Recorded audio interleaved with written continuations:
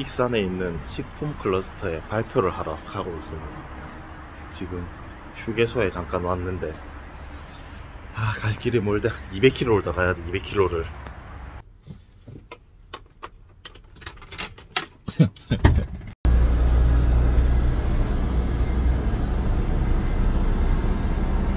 집중하고 있는 모습을 알 수 있지. 지금 잠깐 휴게소에 왔는데 남은 거리가 150km 야, 근데 휴게소에서는 항상 어떻게 이런 노래가 신기하게 항상 잘 나온다. 드디어 익산으로 도착을 했습니다. 약 300m 전방에서 근데 다 농촌은 농촌이다 여기가. 아 논밭이네.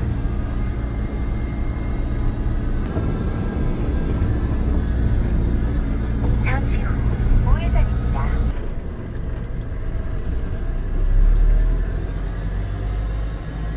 국가산업단지인데 식품 클러스 목적지에 도착했습니다. 길 안내를 잘못 찍은 것 같은데. 아, 빨리 다시 찍어라. 맞지.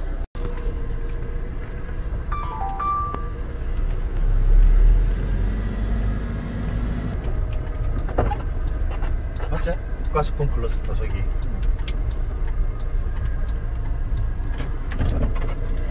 아 여기서 제일 많은 건물인 것 같은데.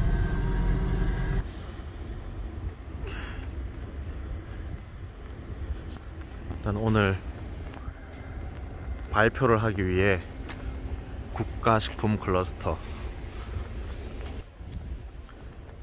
여기서 나중에 발표를 하게 됩니다.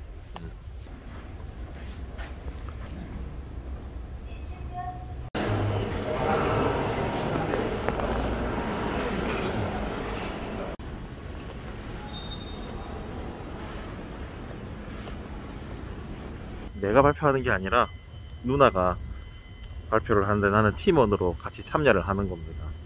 1시인데 지금 시간이 한 12시 정도 점심시간인 것 같아서 조금 기다리고 있다가 나중에 발표를 하러 들어가도록 하겠습니다.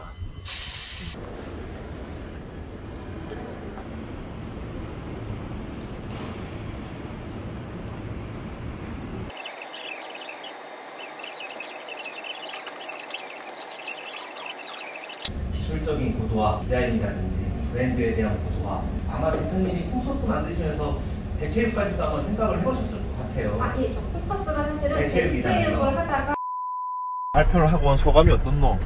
뭐 그렇지 뭐 허둥지둥 되다 왔구나 싶지 언제나 그렇듯이 뭐 아무튼 이거 해가서 지원을 받으면 좋고 안 받으면은 뭐 안 받는 대로 또 어차피 또 해야지.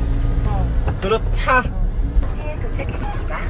길안내를 종료합니다.